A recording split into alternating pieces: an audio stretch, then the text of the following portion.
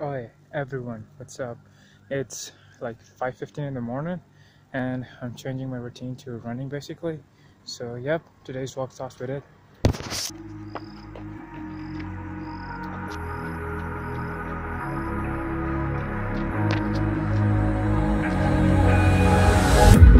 Can you feel it wrapped around your soul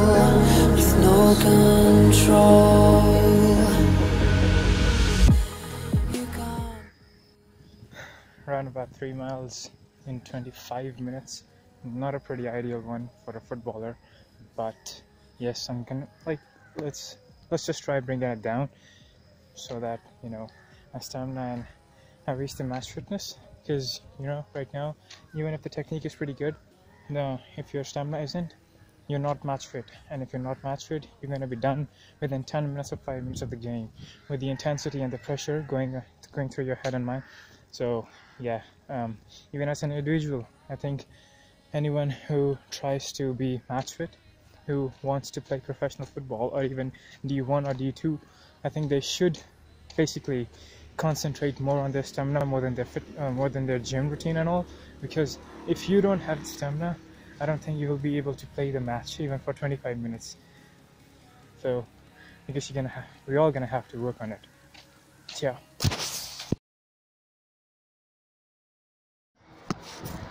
वो इस काम पे रख लेंगे कि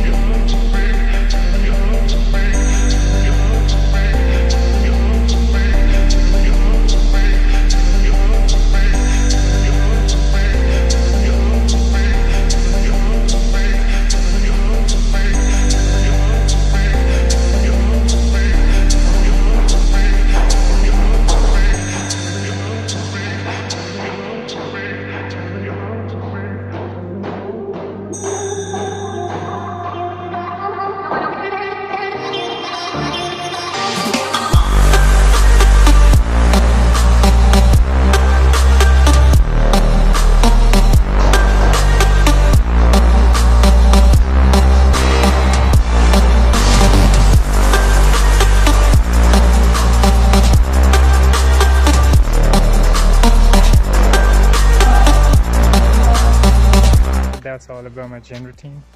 Mm, I'll be doing like focused on my muscles, but yeah, that's how things are going for now. See ya.